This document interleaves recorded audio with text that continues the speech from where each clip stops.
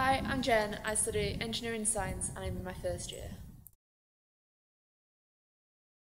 I chose engineering as I really enjoyed maths and physics at A level and enjoyed applying them to solve problems. You'll be asked some technical questions, like maths and physics sort of questions, so I'd probably advise making sure you understand like the fundamentals really well, so then you can apply that to solving problems.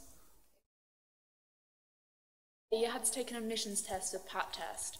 It's half maths, half physics. So again, I think I just advise doing like lots of past papers and making sure you understand everything really well. I generally have two lectures a day, usually in the morning, and I have five hours of labs once one day a week and two tutorials. So I usually go to my lectures, maybe grab some lunch in hall, do work on my problem sheets in the afternoon, and then maybe chill with friends in the evening.